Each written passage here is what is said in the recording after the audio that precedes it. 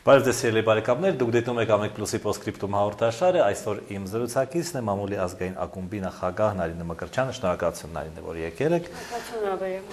Մենք բնականաբար խոսելու ենք ընտրությունների առաջիկա նախագահական ընտրությունների մասին համենայն դեպս սկզբից։ Եվ ուզում եմ հենց ընտրագրավի մասին հարցանեմ, ինչ եղավ, ինչ փուլում է եւ ինչպես է ստացվելու այդ գործը։ Ընտրագրավի գումարը փորձում ենք գտնել, նաև օգտագործելով այս նախատեսված 48 ժամը, այսինքն 2 օր ժամանակահատվածը։ Միաժամանակ պետք է ասեմ, թե պետք արդեն առիթ ունեցել եմ քանիցս խոսելու այդ մասին, որ Հայաստանի Հանրապետության ընտրական օրենսգրքով ըստ էության ունեցվածքային ցենզ է սահմանվել Հայաստանի Հանրապետության քաղաքացիների համար։ Այն դեպքում, երբ ուսումնասիրեք միջազգային փորձը, աշխարհը վաղուց է հրաժարվել դրանից։ Եվրոպան հրաժարվել է 18 8-10-րդ դարում նույնիսկ հարավային աֆրիկյան հանրապետ հարավաֆրիկյան հանրապետություն ապարտեիդի հետ վերջացրեց վերացրեց ունեցվածքային ցենզը եւ ստացվում է այնպես որ Հայաստանի պես աղքատ երկրում որտեղ նվազագույն աշխատավարձը սահմանված է 35000 դրամ կարելի է սահմանել 8 միլիոն դրամ ընտրագրավ քաղաքական մոտիվ եմ տեսնում գտնում եմ որ դարված է քաղաքական շարժառիթներով որպեսզի քաղաքական գործունեություն տնտեսությունը սահմանափակվի եւ ինչու՞ չէ սեփականաշնորհվի։ Գուցե ընտրագրավը ես ուզում եմ տրամաբանությունը հասկանալ։ Դրա համար է որ նու կոպիտ ասած ծաղրածուները ավելի քիչ լինեն, այսինքն չլինեն մարդիկ, որոնք պարզապես եկել են զվարճացնելու հասարակությանը։ Իսկ ով է որոշել, որ ծաղրացուները դրանք են, ովքեր չունեն այդ 8 միլիոն գրամ, 8 միլիոն դրամ գրամը, արդյոք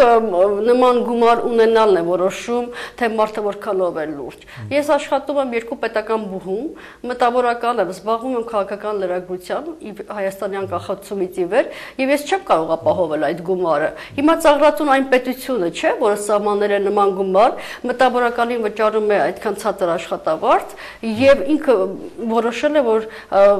սոցիալական խտրականություն է սահմանել։ Ծաղրատուն այն իշխանությունն է, որ նման մոտիվներով, նման մոտեցումներով է փորձում քաղաքական դաշտը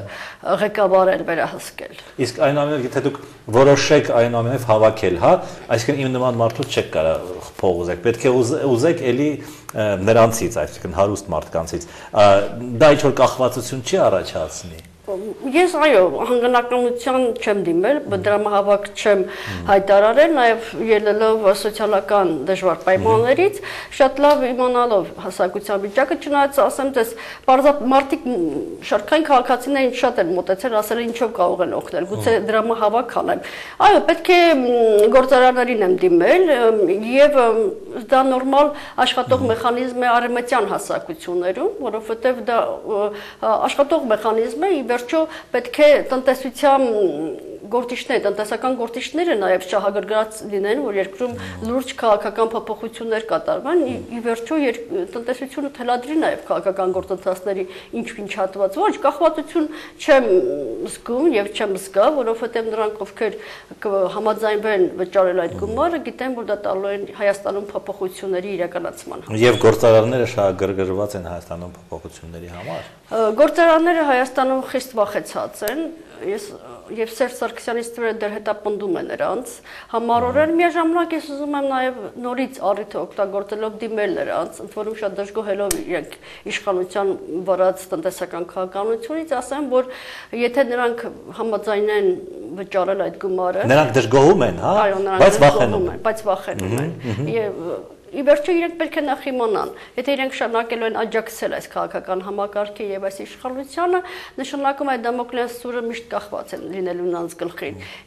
Միշտեր եթե նրանք աջակցեն փոփոխություններին, ընդհանրապես մեկ ամիս հետո այդ վախը կթոթափի։ Օրինակ Գագիկ Ծառուկյանը ուզում էր աջակցել փոփոխություններին, թե՞ չէ։ Գագիկ Ծառուկյանը ինք ինքն էր ուզում փոփոխություններ իրականացնել, այնպես ինչպես ինքն էր պատկերացնում, բայց նա նույնպես հայաստանյան գործարաններից մեկն է, որ իր նախատեսած, իր պատկերացած փոփոխությունները կամ իր քաղաքական թիմի նախատեսած թողեց կես ճանապարհին։ Ընդհանրապես պետք է արդյոք մեզ այդ գործարար խավի վրա հույս դնել, հաշվի առնելով հենց այդ իրանց վախերը Ի վերջո Հայաստանը պետք է գնա քաղաքակիրթ երկրների զարգացման ճանապարհով։ Ինչ որ մեկը պետք է փորձի դա անել, թե ոչ։ փորձում եմ հույսը դնել, փորձում եմ իհարկե չգիտեմ ինչքանով է դա արդարացված, ի վերջո գուցե եւ արդարացված էլ չէ, բայց նորից եմ ասում, գործարանները պետք է իրենք հասկանան, որ իրենք Հայաստանի Հանրապետության քաղաքացիներ են, իրենք ներդրում են անում Հայաստանի ապագայի մեջ։ Ահա Կա այսպեսի մենք այդ թեման արդեն սկսեցինք բաժանում լուրջ տեխնացուներ, որոնք գրանցվել են կամ գրանցվելու վրա են եւ անլուրջ տեխնացուներ առաջին լիգա, երկրորդ լիգա, չգիտեմ, ով որ դուրս կգա երկրորդ փուլ, ով դուրս չի գա։ Հարցը ձեր։ Կա այդպիսի բաժանում ըստ ձեզ, հա, լուրջ եւ անլուրջ տեխնացուների կողմից ասած։ Ես բաժանման սկզբունքները լավ չեմ հասկանում, նրան տարբեր մարդիկ տարբեր մոտիվացիայով են բաժանում։ Ես կարող եմ ասել, Սերժ Սարգսյանը լուրջ տեխնացուների շարքում եք Սերժ Սարգսյանի տեխնացությունը դիտում, թե ոչ։ Հա, ըստ երևույթին լուրջ, որովհետեւ նա լավ շանսեր ունի նվեր ընտրվելու։ Նա ունի շանսեր ընտրական հայկական ավանդական միջոցներով, ընտրախախտումներով։ Այո, այո։ Դառնալու նա շանսեր ունի ընտրախախտումներով ընտրախախտումներով դառնալու։ Հիմա դա լուրջ տեխնացություն է, թե ոչ։ Կարծում եմ ոչ այնքան եւ մնացածները նույնքան կարող են հավակնել ինչքան Սերժ Սարգսյանը, հա, այդ պաշտոնին։ Մնացածները չունեն նրա լծակները։ Սա է տարբերությունը։ Այսինքն, բայց ընտրապայքարը ցույց կտա, թե որ տեխնացուն որքան է լուրջ եւ որքան է անլուրջ։ Ոմանք ուզում են հիմա վարկաբեկեն, հա, ընտրությունները, չգիտեմ, ասելով, որ ոչ մի լուրջ տեխնացու չկա, որ ամեն ինչ կանխորոշված է եւ այլն դրան ինչ կաս։ Երեք պատճառ թերևս նշեմ, կամ երկու պատճառ առաջին մարդիկ մարկանց մի մասը չի հավատում փոփոխություններին, չի տեսնում դրանց հնարավորությունը, ընտրություններով Հայաստանում իշխանություն փոխելու դա բնականաբար ունի իր լուրջ հիմքերը։ Երկրորդը մարդկանց մի մասը խոսում է փոփոխություններից, բայց չի ուզում փոփոխություններ։ Եվ ի վերջո երրորդ հատվածը մարդիկ փոփոխություններ չեն ուզում։ Հիմա նրանք ովքեր ասում են, այդ երեք խմբերից մեկին են պատկանում։ Թող իրենք որոշեն, որ խմբում են։ Տեխնացուների վերաբերյալ ասվում է, որ նրանք ովքեր առաջադրվում են, նրանք ջուր են լցնում իշխանության ջրաղացին, որովհետև լեգիտիմացնում են ներկայիս ռեժիմը։ Շատ լավ։ Ես պատասխանեմ հետեւյալ կերպ։ Առաջին, երբ 2008 թվականի մարտի 1-ի արյունալի իրադարձություններից հետո Սերժ Սարգսյանը զբաղեցրեց Հայաստանի Հանրապետության նախագահի պաշտոն, դուք շատ լավ հիշում եք թերևս նրա երթնակալության օրը։ Երևանում ըստ այդության սքո իրավիճակ էր եւ նա սակավամարտ փողոցներով գնում էր ստանձնելու նստելու այդ աթորին դա չխանգարեց նրան որ Սերժ Սարգսյանը 5 տարի մնա այդ աթորին այսինքն դա լինի Հայաստանի Հանրապետության նախագահը հրճակիր են Հայաստանի Հանրապետության նախագահ անկախ 2008 թվականի մարտի 1-ի արդյունքներից արյունալի իրադարձություններից հետո եւ այս առումով պետք չէ ինքնախապեյությամբ զբաղվել երկրորդ հանգամանքը Առիթ եմ ունեցա ասելու, պետք չէ հորինել Սերժ Սարգսյանի կերպարը։ Նա հաճիկով մենակ կմնար քվյաթերթիկում եւ կընտրվեր մենակ։ Նրան աղմուկ պետք չէ։ Եվ երրորդը թերևս վերջինը նրանք ովքեր պնդում են, կարող են մանշուշտա նրանց կարծիքն է, միաժամանակ պետք է ասել, որ պայքարը չի կարող նպաստել իշխանության լեգիտիմացմանը, եթե իշխանություն լեգիտիմ չէ։ Դա նաև սոցիալ-հոգեբանական գործոնով է պայմանավորված։ Դա միայն իրավական հասկացություն չէ։ Եթե դու կարող ես լինել նույնիսկ ընտրվել նախագահ, բայց լեգիտիմ չլինես հասարակության աչքում։ Իսկ եվրոպացիների կամ չգիտեմ դիտորդների եւ այլն աչքում ասենք թե մի բան է, երբ որ չգիտեմ 80 կամ 90% է ստանում, հա, գործող նախագահը մի, մի այլ բան է, երբ նա ստանում է 60%, մյուսը 30% եւ այսպես կարծես թե ինչ որ մրցապայքարի ապադրանք է ստեղծվում։ Ես չեմ կարծում, որ պատրանք կստեղծվի, եթե արհեստական խոչընդոտներ չառաջանան, գիտեք, ոչ խնդիրն այն է, որպեսի փոխանակ տեխնացուները, նախագահի տեխնացուները մտածեն ընտրական տեխնոլոգիաների ընտրողներին համոզելու, իրենց քաղաքական ծրագրերը լրջագույնս նախապատրաստելու վրա, մտածում ենք նաև ավելի շատ թե ինչպես կանխենք, նվազագույնի հասցնենք, վերահսկենք ընտրությունները։ Հասկանում եք, խնդիրը բավականին լուրջ է այդ առումով։ Այսինքն մենք դասական ընտրապայքարի չենք գնում, ոչ մեկս չենք գնում։ Այդ իսկ պատճառով, եթե չկա դասական ընտրապայքար, եվրոպացիների դասական զեկուցումները ճիշտ ասած շատ կարևոր չեն ի վերջո այդ ընտրությունները մենք անում ենք մեզ համար եթե հաշվի առնենք որ 2008 թվի նախագահի ընտրություններից հետո միացյալ նահանգները արեմուտք միացյալ նահանգ միացյալ նահանգների պետդեպարտամենտը հայտարարություն արեց որտեղ հստակ արդեն ոչ թափանցիկ հստակ ասված էր որ սահմանափակված է Հայաստանի հասարակության իշխանությունների փոխելու իրավունքը էլի ճասել դրանից Այսինքն գնահատականներ միշտ էլ եղել են։ Հերոսադողների հարցեր արդեն պատասխանեցիք գումարները որտեղից ընտրագրավի։ Դե արդեն ասացի։ Առաջ դուք համակրում էիք ԱԺՄ-ին։ Ուրեմն ես եղել եմ Ղարաբաղյան շարժման գաղափարների պես կրողը եւ հիմա էլ եմ ինձ համարում Ղարաբաղյան շարժման արժեքային համակարգի կրողը։ Այդ շարժումը Այդ ինչ է նշանակում։ նշանակում է, որ այն կարգախոսները, այն արժեքները, որ բերում էր Ղարաբաղյան շարժում, ապավինել սեփական ուժերին, բարել կողմնորոշումներից ձեր արտաքին քաղաքականություն, չկան հավերժական բարեկամներ, կան հավերժական շահեր եւ այլն։ Դուք շատ լավ հիշում եք գոնե արտաքին քաղաքականության բնակավարում, ներքին քաղաքականության մեջ ժողովրդավարություն, անձի եւ ազգի արժանապատվության հարգում այդ այդ ամենը Ղարաբաղյան շարժման Ղարաբաղյան շարժման գաղափարախոսություն էր եւ երկու անց կար որ հստակ ոչ միայն բոլոր առաջամարտիկներն անշուշտ ներկայացնում են երկու անց ուղակի մարմնավորում է եւ ներկայացնում են Լևոն Տեր-Պետրոսյանը եւ Ազգեն Մանուկյանը 91-ի նախագահի ընտրություններում ես Լևոն Տեր-Պետրոսյանն եմ ընտրել իդեմս որպես Ղարաբաղյան շարժման այդ արժեքների գրող 96 թվին Վազգեն Մանուկյանին նրան ընտրել եմ նաեւ 98-ի առաջին փուլում այդ այդքանով է սահմանափակվում ձեր առանցություն ԱԺՄ-ի հետ։ Իմ առնչություն, այսինքն ես իմ ընտրությունը կատարել եմ հոգուտ Վազգեն Մանուկյանի որպես քաղաքացի։ Իսկ հետագա ընտրություններում, երբ որ չկար թե Պետրոսյանը, այսինքն 2003 թվականին, ուրեմն 2003-ին չեմ մասնակցել ընտրություններին, ու չեմ մասնակցել ինչև նաև չեմ մասնակցել վերջին խորհրդանի ընտրություններին Պատճառները մի քանիսն են։ Ես չունեի, չեմ վստահում այն քաղաքական գործիչներին, որոնք առաջադրված են, չէի վստահում այն կուսակցություններին, որոնք չէի տեսնում այդ կուսակցությունների այնտեղ այդ ցանկում այնպիսի կուսակցություն, որի հետ կապե իմ, իմ ընտանիքի եւ Հայաստանի ապագան։ Այդ իսկ պատճառով եւ կա նաեւ մյուս գործոնը, որ վստահ չէ, որ նրանք իմ քվեին տեր կկանգնեին։ Իսկ Հայազգային կոնգրեսը արդյոք այդ Ղարաբաղյան գաղափարախոս շարժման գաղափարախոսության գրողը չէ։ Հայ ազգային կոնգրեսը շատ խայտաբղ է այդ առումով։ Այսինքն այնտեղ կան եւ կրողներ եւ չկրողներ։ Գիտեք, Ղարաբաղյան շարժման առաջամարտիկները իրենք էլ են շատ անգամ հեռացել Ղարաբաղյան շարժման գաղափարախոսությունից։ Ես խոսում եմ շարժման ուղղակի իրենք այն ժամանակ մարմնացում։ Դա լուրջ պատմական վերլուծության նյութ է, որ քանիցս արել եմ իմ հոդվածներում։ Երկու բառով, հա։ Այսինքն չկա հիմա մի գաղափարախոսություն, որին դուք լիովին հավատակ վստահեք Կան անդման գաղափարություն, դա ժողովրդավարություն է, ժողովրդավարական Հայաստանի կայացում է, որտեղ հարգվում են մարդու քաղաքացու հիմնարար իրավունքներն ու ազատությունները, եւ որտեղ բնակչության տեղաշ բնակչության Հայաստանից հեռանալը տեղաշարժ է, ոչ թե ժողովրդագրական աղետ։ Դա գաղափարախոսություն է, դա նպատակ է, գաղափարախոսություն է, արժեք է։ Եթե հիշում եք վերջին ելույթում ՀՀՇ համագումարին առաջին նախագահը նույն բավականին վերապահումներով խոսեց գաղափարախոսությունների մասին, այսինքն ազատականության, չգիտեմ, սոցիալիզմի, ազգայնականության վերաբերյալ։ Դուք կիսում եք այդ վերապահ վերաբերմունքը։ Ես համաձայն եմ Տեր-Պետրոսյանի այն այդ մոտեցման հետ արսված վերջին համագումարում այն պատճառով, որ Հայաստանի քաղաքական դաշտը այնքան է, այդպես ասած, հրկիզվել, վերասերվել, որ արդեն գաղափարախոսությունը դարձել են, չասեմ երկրորդական, շատ ցավալի է։ Դարձել են անկարևոր, որովհետև եկ առաջի եկել ավելի լուրջ խնդիրներ, կոռուպցիայի, կաշառակերության հաղթահարում,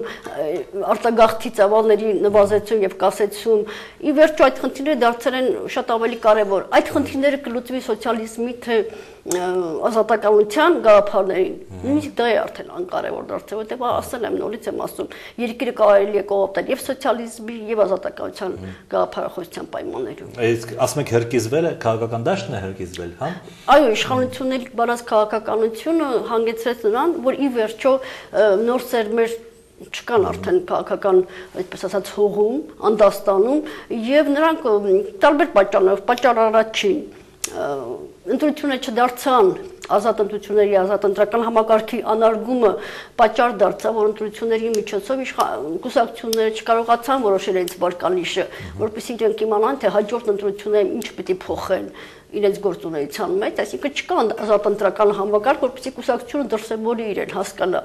պատճառը։ Երկրորդ քաղաքական կուսակցությունների դերը նվազեցվեց։ Երրորդ եղան նաև իշխանության հետ ոչ ընդունելի կամ մերժելի համագործակցության դրսևորումներ կուսակցությունների կողմից մի քանի որը հանգեցեց բնականաբար քաղաքական դաշտի ապա քաղաքականացման հերոստատետողի հարց։ Տարիներ առաջ դուք էլի առաջադրվելու ցանկություն եք հայտնել, ես չգիտեմ հայտնել եք թե չէ, ընդհանրապես հայտնել եք թե չէ խորհրդարանական կամ նախագահական ընտրություններում։ Հիմա ինչու որոշեցիք Այսինքն եթե տարիներ առաջ հայտել եմ, պետք է հիմա չորժի 90 մասնակցել 99 այո 99-ի խորհրդանի ընտրություններին եմ մասնակցել, դրանից հետո ոչ մի ընտրության չեմ առաջադրվել։ Բավականին մեծ դադար է։ Իսկ հիմա ինչու որոշեցիք։ Որովհետև խիստ մտահոգ եմ Հայաստանի ապագայով եւ չեմ տեսնում այն տեխնացուն, որը կարող է փոփոխություններ իրականացնել այդ իսկ պատճառով մտահոգված եմ Հայաստանի ապագայի։ Վերջո մտահոգված եմ նաև այն երիտասարդների ուսանողների, որոնք ամեն օր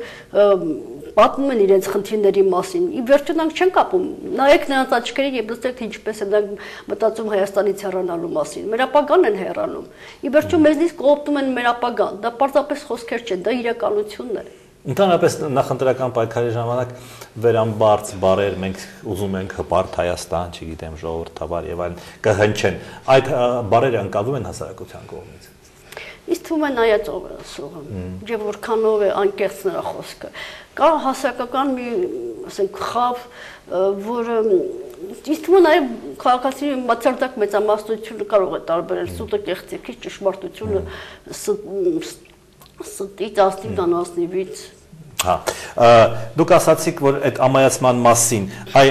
ամայացման նաև դրսևորումներից մեկն այն է, որ ոչ հայազգային կոնգրեսը, ոչ Բարեգավաճ Հայաստանը չառաջար դրեցին, հա, հավանաբար տեխնացուներ,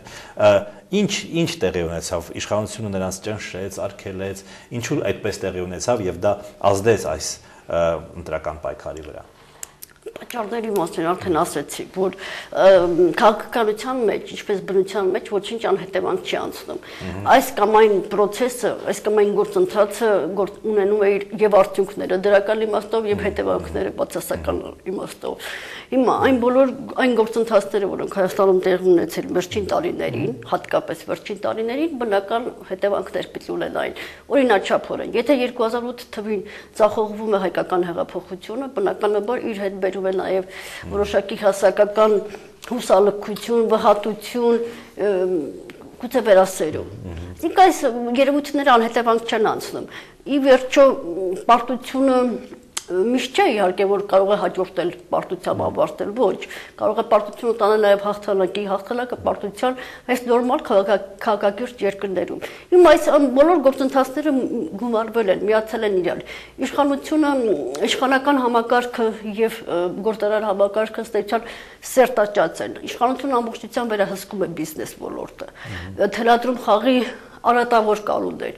Պետական համակարգում կոռուպցիան ու կաշառակերությունը աննախադեպ չափեր էր հասել նայեք միջազգային բոլոր կազմակերպությունների վերած թվերը։ Աղքատությունը նույնիսկ ազգային վիճակագրական ծառայության տվյալներով արդեն կարող եմ թվել էլ բերել ի վերջո։ Այս խնդիրները դարձել են անլուծելի։ Իշխան Հայաստանի Հանրապետության գործող իշխանությունը չի լուծում այդ խնդիրները, խորացնում է խնդիրները։ Եվ հենց այդ պատճառով Տեր-Պետրոսյանը չի առաջադրվել, ոչ թե տարիքի։ Տեր-Պետրոսյանը ուզում ասում այս երևույթները ստեղծել էր մի իրավիճակ, որը ոմանց համար շատերի համար եւ Տեր-Պետրոսյանի համար դարձել ալելալության ինչ որ փակուղային իրավիճակ է ստեղծել։ Տեր-Պետրոսյանի չառաջադրվելու պատճառները ինձ համար նաեւ մարդկայնորեն են հասկանալի։ Ի վերջո 2008 թվականից հետո գուցե նա պետք էր այդ մի դաթարը հետո մենք մոռանում ենք մի բան, որ կարծես թե մամուլ ուշադրություն չդարձրեց նաև Տեր-Պետրոսյանի վերջին ելույթում նույնիսկ հարցազրույցում 4 իշխանության տվեց, ասես կա նաև մի տեխնիկական պատճառ։ իր չարաչադրման համար, բայց համընդհանուր ցինիզմի մտնոլորտը հնարավորություն չի տալիս խոսել այդ պատճառի մասին։ Գուցե քննարկենք այդ պատճառը, տեսնենք ինչ է, գուցե դա նույնպես ֆիլոսոֆական պատճառ կարող է լինել այդ այդ դեպքում ցինիզմի մասին չեն խոսի, ավելի շուտ երևի անձնական։ Ասացեք խնդրեմ, հեղափոխություն բառը արտաբերեցիք, այ հեղափոխությունը ինչպես եք պատկերացնում, որտեղ է Ավրորա, ուրեմն այդ հածանավը, որտեղ են այդ մատրոսները, բոլշևիկները եւ այլն, ինչը պետք է գրավել եւ ինչպես եք հեղափոխությունը պատկերացնում։ Աշխարհը շատ է փոխվել եւ հոկտեմբերյան հեղափոխությունից աշխարհը նոր աշխարհը, արտի աշխարհը անցել է հեղափոխությունների այլ դարաշրջան։ 20-21-րդ դարի հեղափոխությունները, որոնք ընդունված են համարել գունավոր հեղափոխություններ, այլ չափորոշիչներ են առաջադրում։ Հիմա, եթե Միացյալ Նահանգներում 60-ական թվականների Մարտին Լյութեր Կինգը հայտարարում էր, որ Միացյալ Նահանգներում խտրականության ուրվակալը շատ շոշափելի է, նկատելի է, քանի որ սեբամորտեն իրավունք չունեն այսպես ասած ընտրելու ընտրվելու եւ այլն որոշ խտրականություններ թվարկում եւ հայտարարում էր որ մի երազանք ունի երբ ձորերը կբարձրանան եւ ժարերը կիջնեն ի վերջո սևամորտները կդառնան սպիտակամորթերի պես այդպես հավասար մարդիկ եկավ 20-րդ դարը 21-րդ դարը եւ սևամորտ միացյալ նահանգները սևամորտ նախագահ ունեցավ դա նույնպես պայքարի դա դա եւս հեղափոխություն էր դա նույնպես հեղափոխություն էր այն ինչ տեղ ունեցավ Վրաստանում Ուկրաինայում նույնպես հեղափոխություններ։ Ամեն հեղափոխություն, ամեն մի պետություն, ամեն հասարակություն անցնում է հեղափոխության այն ճանապարհով, որը ինքն է որոշում։ Կազմա կապված պայմանավորված հասարակության տվյալ տվյալ հանրույթի կազմակերպվածության աստիճանի հետ, որքանով այդ հեղափոխությունը ավարտին կհասնի, մեծապես որոշում է նաև քաղաքական առաջնորդները։ Եվ հեղափոխությունը զենք ու զրահով գրորը հելը չի միայն նորից եմ ասում 21-րդ դարի հեղափոխության իր է բերում։ Ի վերջո, եթե երկիրը հասնում է հեղափոխության, անհրաժեշտության եւ անխուսափելիության արժեվ, պատճառը միայն գործող քաղաքական համակարգն է եւ գործող իշխանությունը։ Եվ դուք այդպիսի պատրաստվածություն, այդպիսի համախմբվածություն տեսնում եք օրինակ Վրաստանի կամ Ուկրաինայի, Ուկրաինայի չափով նաև Հայաստանում հեղափոխության պահանջ ես տեսնում եմ, որքանով է դա հնարավոր իր ես տեսնում եմ նաև այդ հույսը որոնք կարող է ծավալվել որքան էլ պահպանողական որքան էլ որոշ չափով զգուշավոր երբեք չես կարող ասել հայ հասարակությունը երբ որ պահին որտեղ կարող է սկսել հեղափոխությունը եւ ինչից գուցե նախագահի ընտրությունները նման հնարավորություն տալիս էլ համախմբան առումով։ Ես մի բանաձև ունեմ, որ նորից ուզում եմ կրկնել հեղափոխությունից դեպի ընտրություններ կամ ընտրություններից դեպի հեղափոխություն։ նայած ինչ մարտավարություն եւ ռազմավարություն կընտրվի։ Դուք նկատի ունեք այս նախագահական ընտրությունը։ Նաեւ այս նախագահական եւ այս պահին հենց նախագահի ընտրությունները։ Շնորհակալություն, ես հաջողություն եմ ցանկանում այս նախագահական ընտրություններում։ Նախ ցանկանում եմ, որ բնականաբար դուք առաջադրվեք, գրանցվեք եւ մեծ-մեծ հաջողություններ ունենաք։ Շնորհակալություն։ Շնորհակալություն։ Իմ զրուցակիցներ Մամուլի ազգային ակումբի նախագահ Նարինե Մկրչյանը մենք վաղ նորից կհանդիպենք։ Ստեսություն։